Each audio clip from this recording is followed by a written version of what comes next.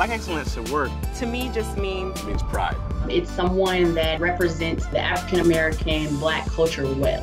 For me, it means paving the way, celebrating and recognizing progress that we're making. You are breaking barriers for a lot of people, people that may look like me that aren't in those positions right now. Black excellence is being true to myself and not changing how I am for any individual person. Black History Month to me means inspiring the next generation, building leaders. Pride in all those who came before and helped pave the way for the opportunities I have now, and doing my part for the future generations. I think it's so important to stop and really recognize the contributions of African Americans and what they've contributed to making America such an amazing place to be.